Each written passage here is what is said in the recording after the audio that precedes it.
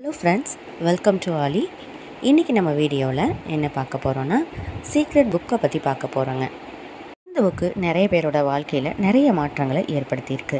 அப்படிப்பட்ட புக்கை பற்றி தான் நாம் இன்றைக்கி பார்க்க போகிறோங்க இந்த புத்தகம் முழுவதுமே பிரபஞ்ச ஈர்ப்பு விதி அப்படிங்கிற வார்த்தையை பயன்படுத்தியிருக்காங்க. பிரபஞ்ச ஈர்ப்பு விதினா என்ன?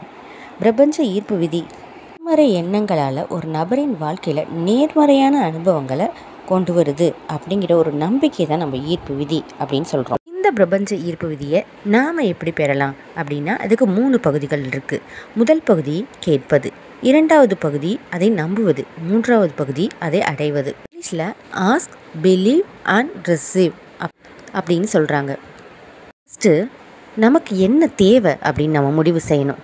ரெண்டாவது நாம் அதை அடைஞ்சிருவோம் அப்படின்னு நம்பணும்.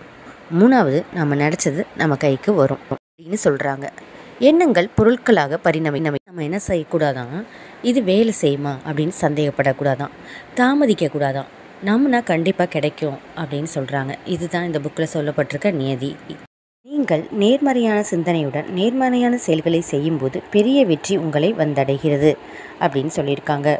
இல்லையே இல்லாத பிரபஞ்சத்திடம் தன்னம்பிக்கையுடன் எதை கேட்டாலும் கிடைக்கும் அப்படின்னு சொல்லியிருக்காங்க.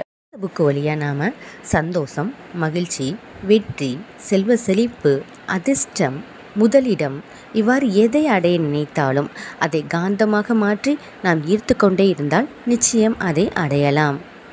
ஒன்று அடைய வேண்டுமானால் நமக்கு தகுதி இருப்பதாக நம்பி நினைத்ததை காந்தம் போல் ஈர்த்து அடைய முடியும். நம்மிடம் தாழ்வு மனப்பான்மை தகுதி இல்லையோ நான் முட்டாளோ எனக்கு ஒன்றும் தெரியாது என்று நினைத்து ஒன்று அடைய நினைத்தாலும் அது நடக்காது.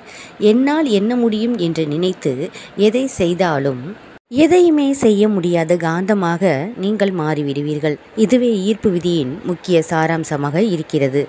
ஈர்ப்பு விதி எதை ஈர்க்க வேண்டுமோ அதை ஆழ்மனதில் பதிய வைக்க வேண்டும். நாம் அடைய நினைத்ததை நம்பி அதை ஆழ்மனதில் பதிய வைத்து அதன் மூலம் எழும் காந்த அலைகள் நமக்கு ஒரு உந்துதல் தந்து நாம் எதையும் அடைய முடியும் என்று நம்ப வைக்கிறது ஆழ்மனது. இந்த புத்தகமானது குவாண்டம் இயற்பியல் மற்றும் உளவியலின்படி அமைக்கப்பட்டுள்ளதாக கூறப்படுகிறது. எண்ணத்தை மனதில் நினைத்து அதை அனுதினமும் நினைத்து அந்த எண்ணத்தை நம் ஐம்புலன்களாலும் உணர்ந்து வாழ்ந்தால் அந்த எண்ணம் வண்ணமாவது திண்ணம். இந்த புக்குனால் யாரோட வாழ்க்கையிலாவது மாற்றங்கள் வந்திருக்கா? அப்படின்னு பார்த்துடும்போது எனக்கு இந்த ரெண்டு எக்ஸ்பீரியன்ஸ் கிடச்சிது. அதை நான் உங்களோட ஷேர் பண்ணியிருக்கேன். இந்த புக்கை படித்ததுனால உங்களோட வாழ்க்கையில் ஏற்பட்ட நல்ல மாற்றங்களை பற்றி எனக்கு கமெண்ட்டில் சொல்லுங்கள் தேங்க்யூ ஃப்ரெண்ட்ஸ்